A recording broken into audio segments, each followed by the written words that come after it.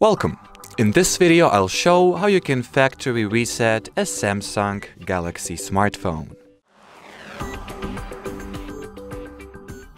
So, a factory or hard reset on a Samsung Galaxy phone restores the device to its original settings, deleting all personal data, apps and customizations. It is commonly used to troubleshoot issues, remove persistent software problems, or prepare the phone for a new user. A factory reset can also help if you are experiencing performance slowdowns or want to start fresh. However, it is important to back up your data beforehand, as everything will be erased during the reset. So the first method you can use is to launch your device's general settings.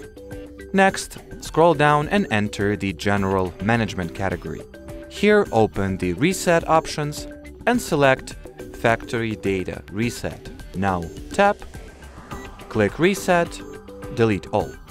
If your device has a screen lock in place, you will also be required to input your screen lock password or pattern perhaps. Now let's wait for the device to shut down.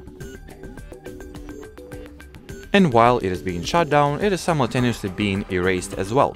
So keep in mind that this procedure may take a while, a few minutes, uh, depending on the particular device that you have.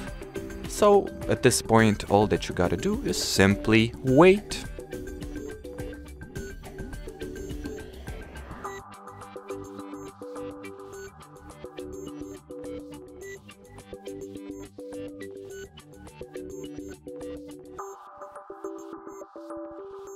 So in front of us, we have the initial setup screen, which tells us that the factory reset procedure is finished successfully.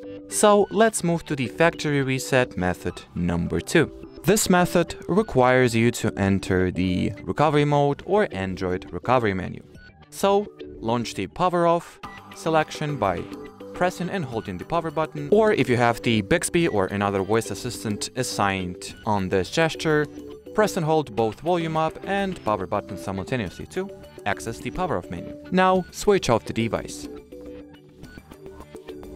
Wait until it is shut down all the way. And once it is, you will need to simultaneously press and hold volume up and power keys. So here's the power button and here's the volume up. Press and hold them and let your finger go once you'll see the Samsung logo on the screen. Here it is. I can release the keys now and now wait a few seconds for the recovery menu to boot up. Here it is.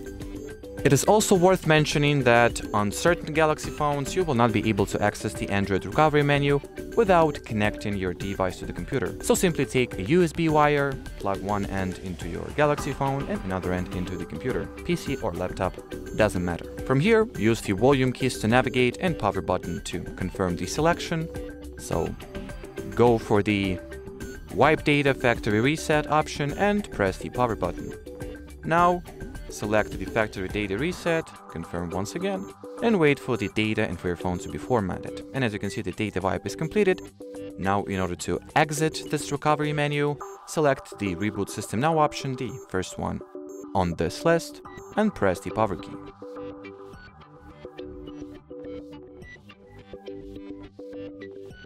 And now the procedure will be pretty much the same as it was in the first method.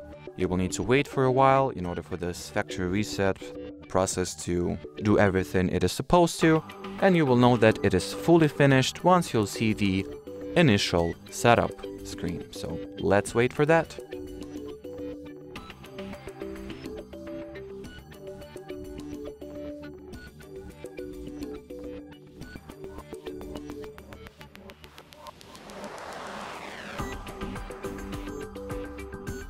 And well, once again, here is the phone setup screen, which means that we can call it a day here.